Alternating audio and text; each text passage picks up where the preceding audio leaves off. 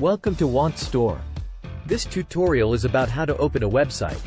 With the internet being such an integral part of our lives, knowing how to access websites is an essential skill. We'll show you the simple steps to open a website, whether it's your favorite social media platform, an online shopping site, or a news website.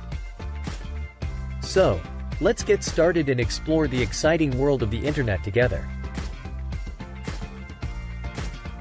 Hi there. In this video, we'll walk you through the simple steps on how to open a website.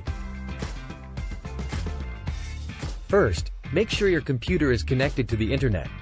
You can check your internet connection by clicking on the Wi-Fi icon in the bottom right corner of your screen. Once you've confirmed that you're connected to the internet, open your preferred web browser. Popular web browsers include Google Chrome, Mozilla Firefox, and Microsoft Edge. Click on the browser icon to open it. Once the browser is open, you'll see a homepage displayed in the browser window. To open a specific website, simply type the website's address or URL into the browser's address bar. The address bar is usually located at the top of the browser window.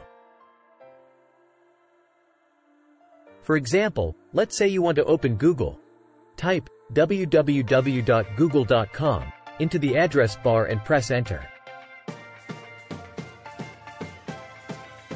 The browser will then load the Google homepage. Congratulations! You've successfully opened a website. That's it. Opening a website is easy, and it only takes a few simple steps. Now you're ready to explore the vast world of the internet. Thanks for watching, and happy browsing.